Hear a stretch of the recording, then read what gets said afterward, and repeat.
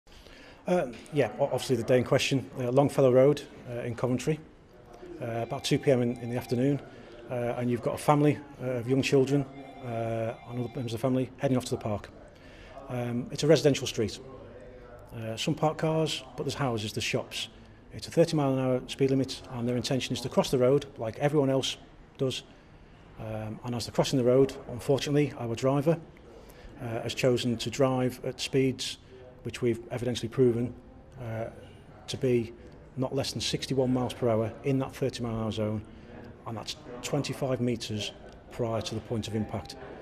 Uh, he's, I can only use the word plowed through the group, um, didn't stop at the immediate scene, uh, stopped further down the road,